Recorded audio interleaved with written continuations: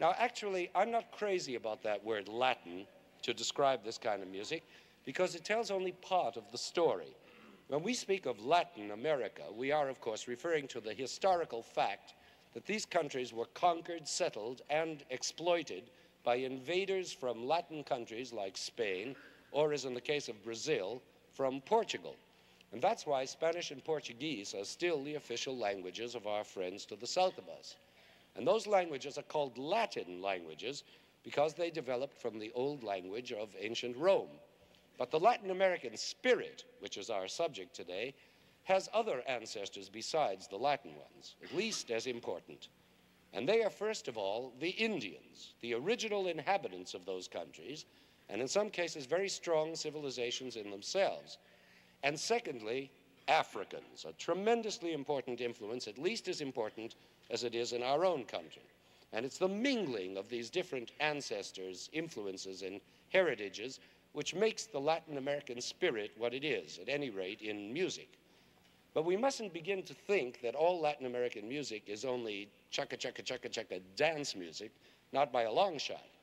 Our Latin neighbors have produced a very impressive number of serious symphonic composers who have succeeded in preserving the folk flavor of their own countries while at the same time expanding their music into what we think of as universal art.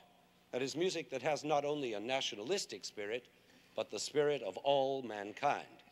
Now, certainly the most admired of all these composers was the great Brazilian Villa-Lobos, who died only three years ago, leaving many beautiful compositions.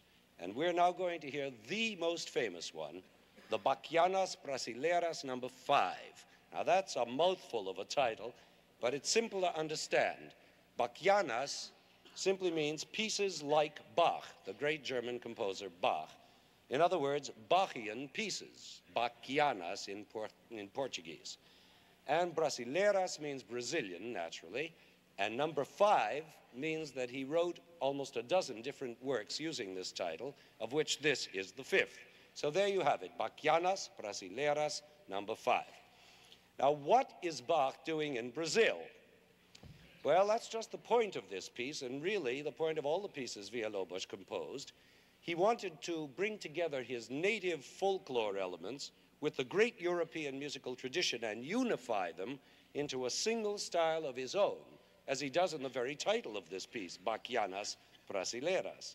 And it's amazing how well he succeeded, as you will hear, especially in the first movement. There are two movements to this piece, which, by the way, is written for a soprano voice and an orchestra consisting of nothing but eight cellos. Now, in the first movement, which is slow and tender, he has the soprano sing a long melodic line without words, just the syllable ah. And underneath, the eight cellos accompany this Bachian song like one huge guitar. And then comes a short middle part that does have words in Portuguese about the moon.